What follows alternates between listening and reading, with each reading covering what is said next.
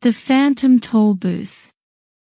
Chapter 11 Milo wakes up at 5.22 a.m. and decides that he should let Chroma sleep in and simply conduct the orchestra himself.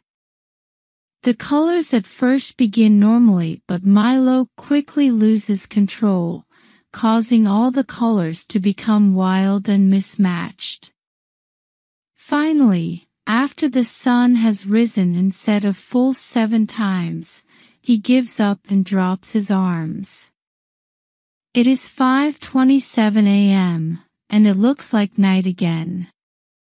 Chroma comes running up completely unaware that seven days have passed.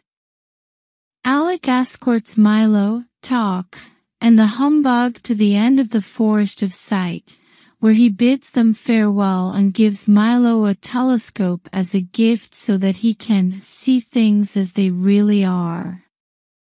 The three travelers pile back into the electric car and soon drive up to a carnival-style wagon bearing the sign Kakofonous A. Dischord, Doctor of Dissonance.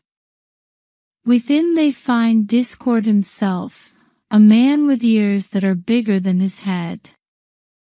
As a purveyor of noise pills, racket lotion, clamor salve, and hubbub tonic, Dischord mixes up a foul-sounding substance that Milo and his companions refuse.